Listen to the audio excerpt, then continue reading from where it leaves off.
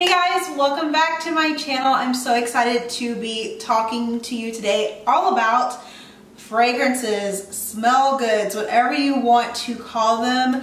This is going to be my fragrance collection, so if you want to find out what's all in my collection, stay tuned and don't forget to hit that subscribe button. So I just want to start by saying that I've always loved fragrances. A, it reminds me of my grandmother actually. Her signature scent was Estee by Estee Lauder and to this day, I don't even know if they still make it, but I can still smell what that smells like in my head. So it's just a really like girly thing for me and I, I mean, who doesn't like to smell good? So I will get started with the like casual daytime work appropriate scents and then we'll move in kind of to the more sensual, sexier scents. So first things first, this Jo Malone basil and neroli scent. So the funny thing about this scent is that I found out about it because I had gotten a sample um, when I purchased something else like two, maybe three years ago to be completely honest. And I didn't think I was gonna like it. I put it in my bag. I had to go to Los Angeles for a week or so and that was gonna be the scent that I wore that week. And I sprayed it and my Lyft driver was like, what are you wearing? It smells so good. It smells like spring meshing into summer. It does smell green, kind of citrusy, but not overly green. It doesn't smell like you just mowed the yard or something like this. It's a nice, crisp, but kind of sweet, fresh, citrusy green.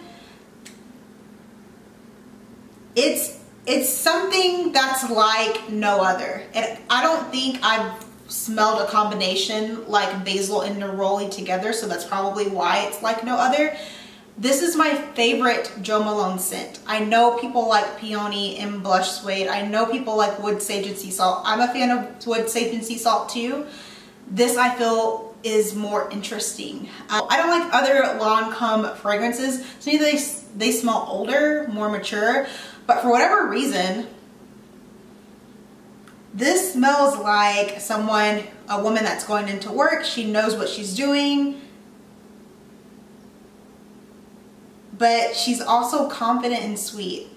It does have a rose scent to it, but when I say rose, I don't want you to be thrown off because a lot of times rose scents have smelled more mature. This doesn't smell like this. This smells really nice. This smells like I'm in my late 20s, I'm in my 30s, I'm in my 40s. I'm not a senior citizen, but I like to smell like roses and I'm respectable. That's what it smells like to me. It's not sexy to it. Um, I don't like that this bottle has to lay like this. You can buy a stand for it. I'm not buying a stand for a perfume, but I have my sister actually got for me for my birthday. This one. This is Miss Dior Roses and Roses. So I found out about this and first of all, look at this bottle. Isn't this the cutest little thing? It's pink, has a bow, the little things on the side. Oh, it's just, it's adorable. I love it so much. But um, this scent, my friend Jasmine wore this to my birthday dinner and I was like, what are you wearing? It smells so good. And she was like, this new Dior fragrance, roses and roses. And first of all, that was already two turnoffs for me. And I would say that this definitely lives up to this. It is a modern rose. This is like, I'm living the time of my life. I'm out with my friends. Maybe I don't have any real responsibilities yet, or maybe I'm just letting my hair down today. Whatever the case is, I'm having a good time but I'm also growing up a little bit. it's, it's a modern rose, so it still has that classy element to it, but it is not as mature. If you like rose scented things, but you've been scared in the past, get this. Um, I hope I'm saying that right. I feel like I sound like a Texan.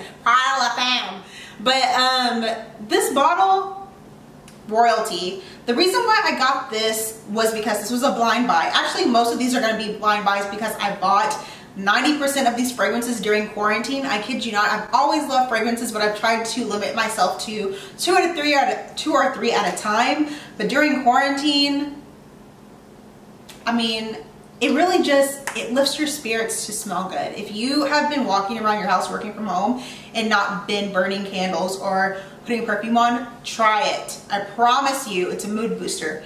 But this has a note of beeswax in it and that was the selling point for me because I, I don't ever remember smelling a perfume with that note in it. This smells like a confident woman.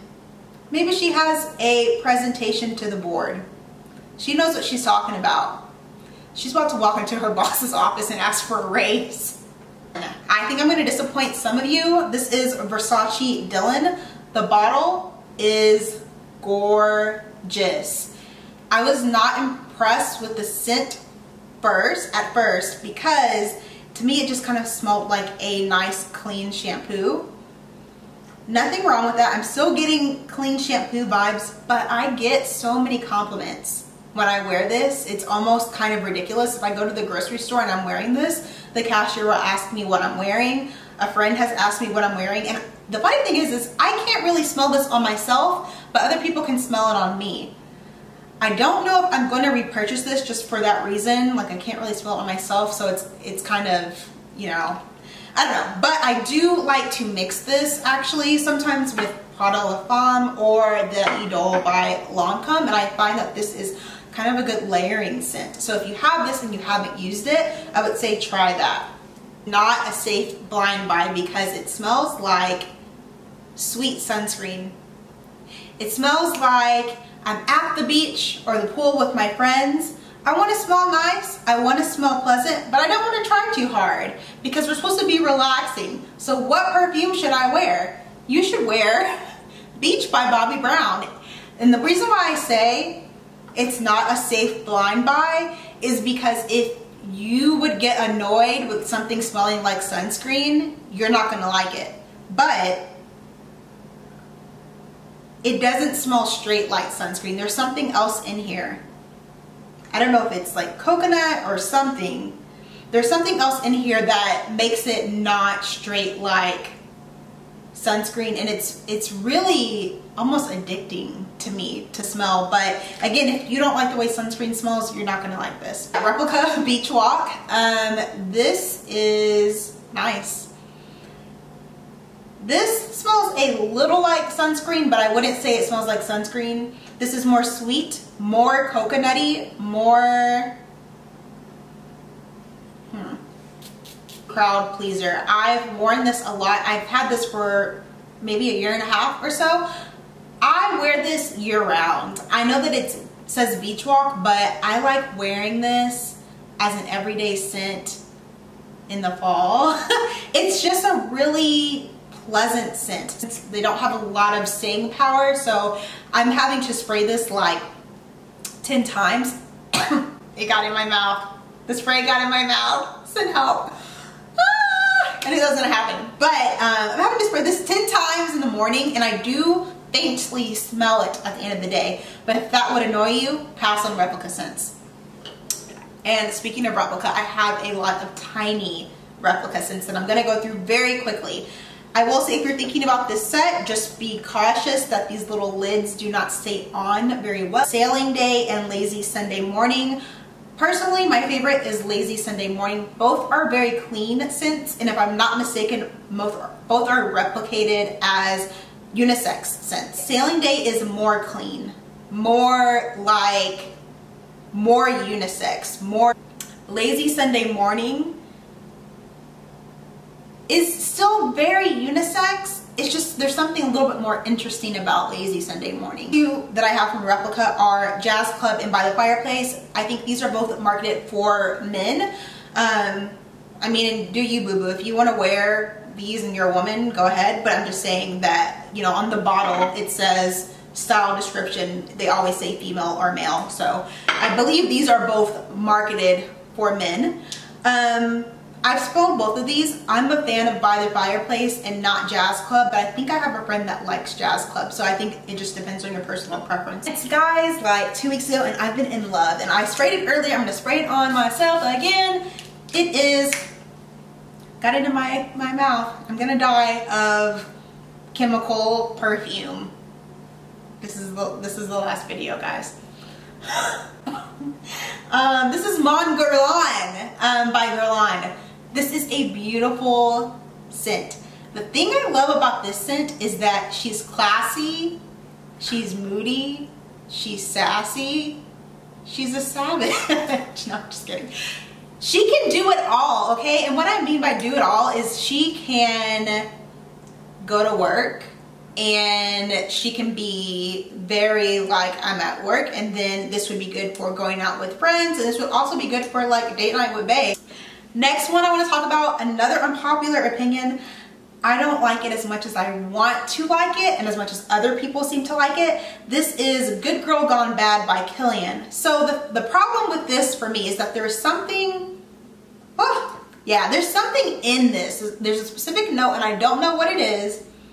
It's like sharper than the rest of the notes because it's a very light, musky kind of fragrance to me but there's something in here that I don't know what it is that is very, it's like one of these things is not like the other and it doesn't compliment to me.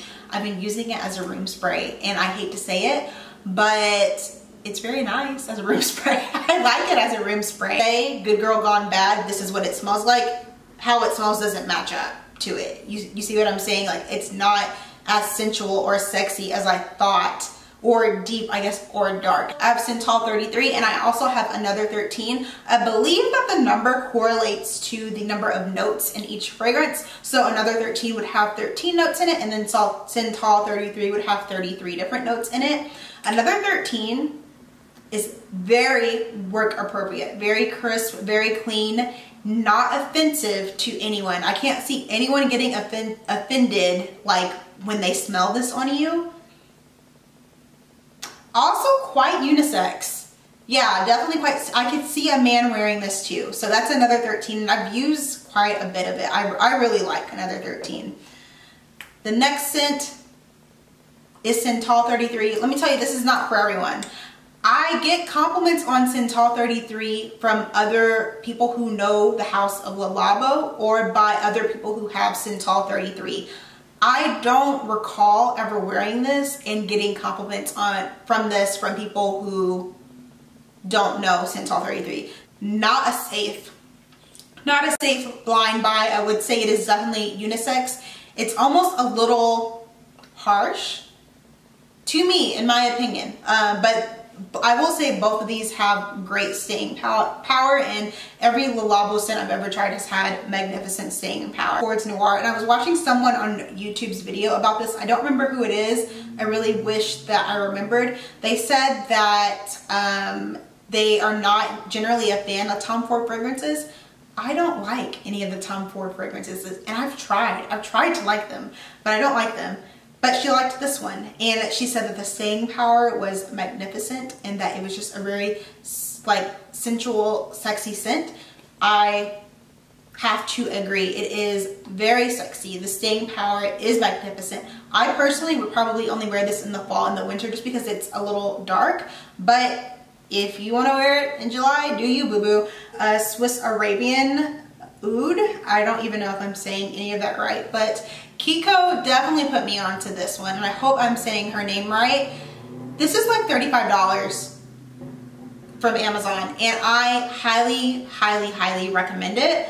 It smells, whoo, it smells so good. it smells, it's like a um, dark gourmand type scent. Can't quite place it. It just smells good, guys. And if you don't traditionally like oud fragrances, I would say this would be a good starting point or this would be something to try anyway and for $35 for a cologne, might as well try it. Kiss exclusive by uh, Be Layered and this is a dupe or it is inspired by First Kiss exclusive by Delina Parfums and I will say that Delina one is like $300. Homegirl wasn't going out like that. I'm just not there to the point where I want to spend that much on a fragrance. One day, quite possibly. Today, not at all.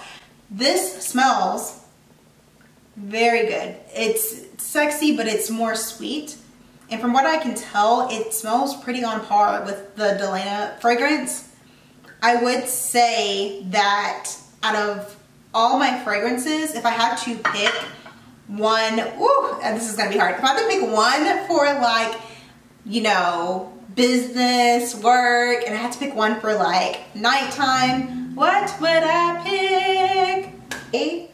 For nighttime, I'm gonna go with my Mon Guerlain because it's sweet and it's sensual and it's a little bit, a little bit dark. For daytime, I feel like I reach for this a lot. Um, so I would have to go with Idole by Lancome, but don't hold me to it because next week I could be thinking something totally different. So let me know your thoughts about any of the perfumes that I mentioned in this video. If you have a fragrance you think I should try out, let me know, put me on. I'm excited to see what you guys are wearing, what you guys are buying, and don't forget to hit that subscribe button, and I will talk to you later. Bye!